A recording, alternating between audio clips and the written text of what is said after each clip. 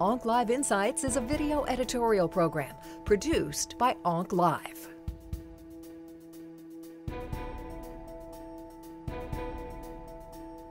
There's a lot of buzz about immunotherapy, as you know, although uh, in pancreatic cancer we don't have really major leads in terms of immunotherapy, but that's something which is uh, uh, which is being uh, developed and tested. And cl- the closest we, we are in immunotherapy in pancreatic cancer is the vaccine, recent vaccine trial, which showed some promise. And it's gone, in, uh, and then we'll have a, a larger trial which is accruing very rapidly, and we'll have an idea about the use of the vaccine in this disease as an immunotherapy. So the immune checkpoint uh, inhibitors have been very uh, very intriguing because they have made a, a, a good forward step in the treatment of uh, solid tumors and more recently in hematological malignancies. Um, we have some um, uh, results that have been very promising, for example, in lung cancer recently. But at this point in time, um, we don't really have a, um, a good feel for pancreatic cancer. In fact, I can't tell you that there are results that are really intriguing at this point in time. But it should be, again, work in progress uh, we're understanding more about the biology of pancreatic cancer, especially the immune infiltration of the tumor cells. We may need to do things to increase the immune infiltration of the, of the tumor cells and then come in with additional drugs like checkpoint inhibitors. We may need to combine the vaccine with the checkpoint inhibitors. So I think there is still a lot of uh, potential, but it, the work has just started. So we don't really have a, a good feel of what's really out there, which is going to be. Um, uh, applying to this disease as a, as a treatment in addition to what we have at this time from the standard treatments.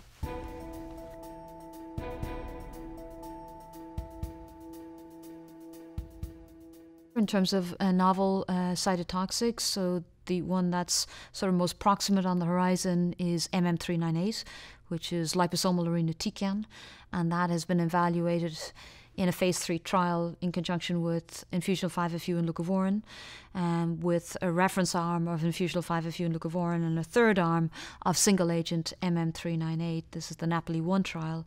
Uh, these results were presented at the World GI uh, ESMO meeting and have uh, indicated that the addition of MM398 to 5-FU and leucovorin resulted in improved overall survival. So those data are under review with the FDA, and the um, the potential is that this will be uh, an additional drug that's approved in 2015 for pancreas cancer, and we'll have to to learn how to integrate it in, in, in terms of uh, where it fits in treatment and how it fits related to irinotecan.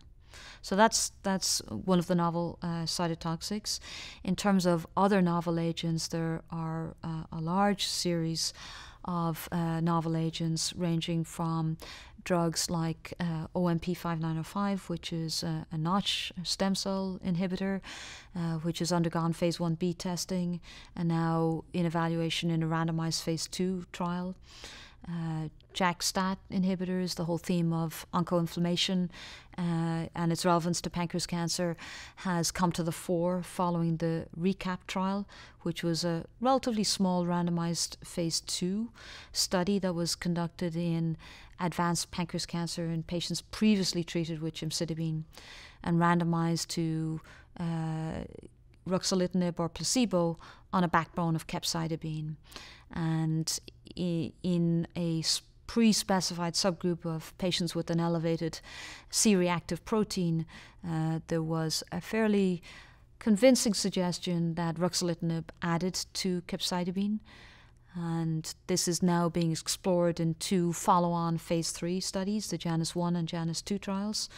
And in terms of other um, JAK inhibitors uh, being being developed in pancreas cancer. Momelotinib is is undergoing uh, phase one, uh, phase two evaluation on a backbone of gemcitabine and paclitaxel.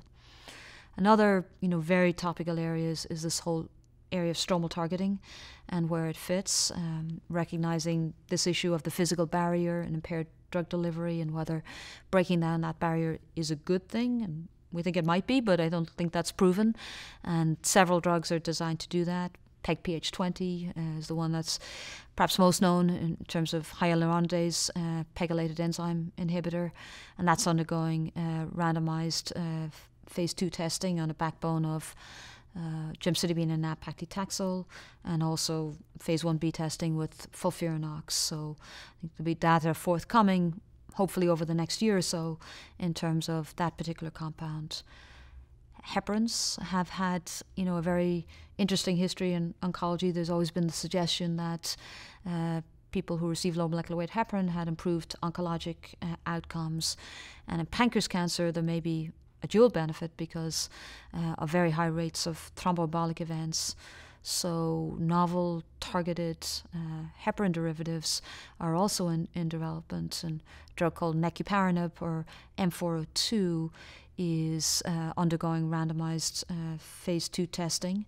And this drug has you know, host of mutated mechanisms. It's not entirely clear how it works, uh, but anti anti metastatic, anti stromal, maybe some anti angiogenic effects and uh, I think very interesting and highly relevant to the biology of pancreas cancer. So we'll see um, where that where that goes. So th- there's some of the themes, and maybe might add just going back to this BRCA subset, and PARP inhibitors are an area of active research following on from the breast and ovary cancer world, and recognizing that probably in an unselected patient population, about five to 8% of people with pancreas cancer will have a BRCA mutation, uh, but in certain subgroups, people of Ashkenazi heritage, people with strong family history, uh, that number, that percentage is, is significantly higher. And the use of platinums has become established as a de facto standard in that group, but also experimentally um, evaluating other drugs which have homologous repair uh, effects, and PARP inhibitors are, are obviously a very logical theme, either as a single agent or in combination with cytotoxic therapy. And it's been a little difficult to, to give PARP inhibitors with chemotherapy uh, because of overlapping toxicities, in particular myelosuppression. So that's another very active area for a subgroup. But that subgroup may actually be larger. So there may be a much bigger group of people with um, broader defects in homologous repair, maybe check one, the mismatch repair protein um, deficiency uh, patients, uh, ATM, etc. So we're still don't know where this bar begins and ends in terms of what that group is, uh, but it's it's likely beyond just uh, the the uh, straightforward group of BRCA1, BRCA2, and, and, and PALB PALB2 patients.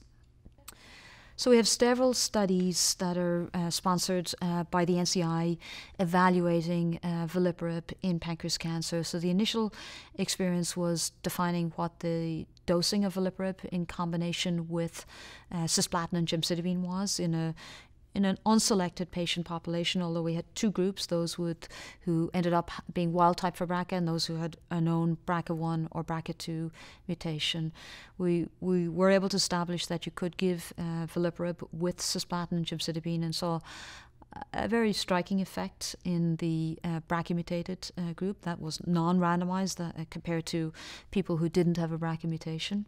So that's led to an ongoing randomized trial which uh, uses uh, cisplatin and gemcitabine as the cytotoxic backbone. This trial is, is conducted only in patients with BRCA1, BRCA2, or PALB2 mutations. And it's a collaboration between centers in, in North America, Israel, and Canada. And we'll evaluate whether the addition of veliparib uh, increases the response rate, increases the duration of response, increases progression free, and ultimately overall survival. These are unknown questions, uh, along with a host of sort of correlative questions looking at uh, mechanisms of sensitivity and resistance and biomarkers of homologous repair. And then we have a third study for which the data are presented at the uh, GI uh, ASCO uh, symposium, which looked at single agent veliparib in previously treated BRCA uh, pancreas cancer. And here we saw a signal. Arguably, it's not the most sensitive place where I think the signal will be uh, in terms of stable disease. Um, some patients doing very well for an extended period, and sort of bringing up the question of whether these drugs will have a role in the maintenance setting. And we already previously mentioned that uh, a, a related compound, olaparib, is, is being evaluated in, in this maintenance setting. with regard to pancreas cancer and, and novel areas, uh, the other big topical area is the whole field of immunotherapy and what's happening in pancreas cancer. And uh, there are several, I think, interesting approaches out there. Uh, the one of the approaches is looking at modulated listeria in combination with uh, Gvax, which is an allogeneic uh, vaccine that's derived from several patients with pancreas cancer and has been genetically modified uh, for its immune enhancing effects. And a previous small uh, randomized phase two trial suggested uh, that the addition of Listeria and Gvax in patients in the second and third line setting with pancreas cancer had a benefit, and that's prompted a larger randomized phase two experience, and that study is underway.